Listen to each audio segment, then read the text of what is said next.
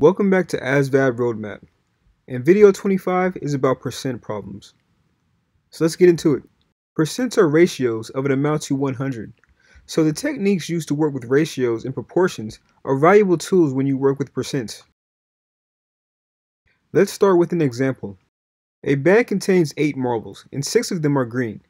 What percent of the marbles in the bag are green? Step 1.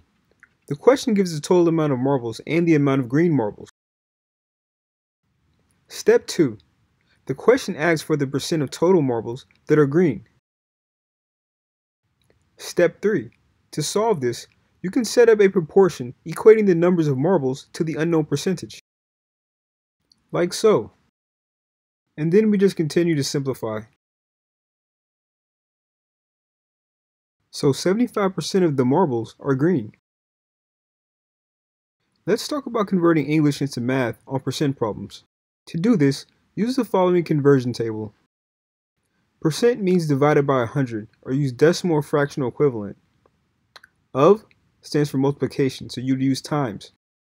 What means x, or basically any variable you would like. Is means equals. Using these translations, you can see, for instance, that 40% of 25 equals 0.40 times 25 equals 10.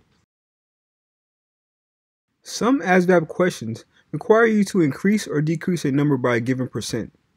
To calculate such increase or decrease, take that percent of the original number and add it to or subtract it from the original number. To increase 25 by 60%, first find 60% of 25. Then add the result to the original number.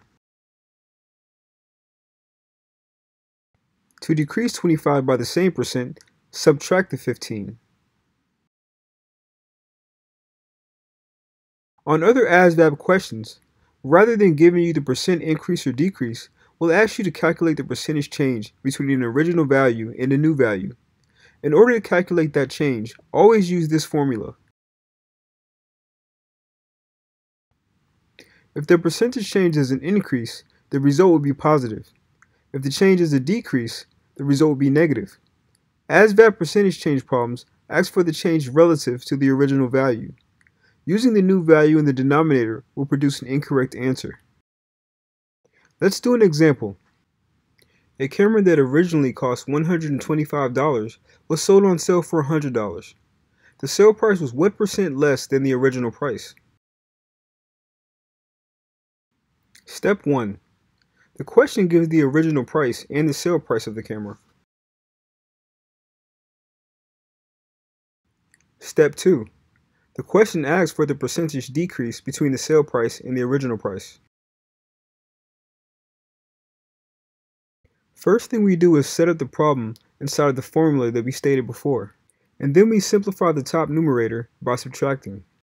We further simplify by applying the fraction rule.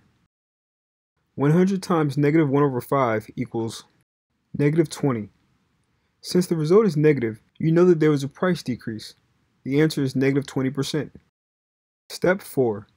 Briefly confirm that the answer makes sense. 20% of 125 is 25, so your answer is correct. Alright guys, that wraps up percent problems. In the next video, we'll talk about statistical terms. I'll see you there.